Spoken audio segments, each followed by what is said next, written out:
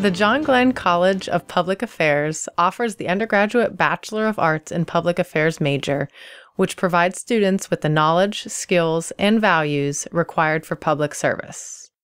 Public affairs is the connection between applied public policy and management of organizations that solve problems in the public sector. Students in this major learn managerial, analytical, and financial skills that can prepare them to work for city, county, state, and federal government agencies, as well as numerous nonprofit organizations.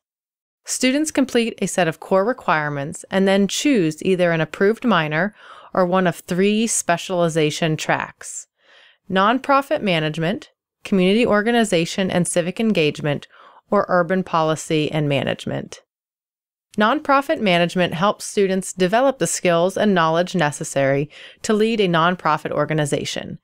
Community organization and civic engagement focuses on the roles that citizens play in their community and steps they can take to help shape policy development.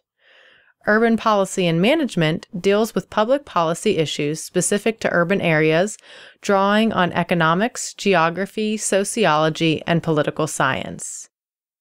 Students who graduate with a degree in public affairs are prepared to work for a variety of government agencies, as well as nonprofit organizations or private companies that either assist or work alongside entities in the public sector. Admission to the public affairs major is open to all admitted OSU students.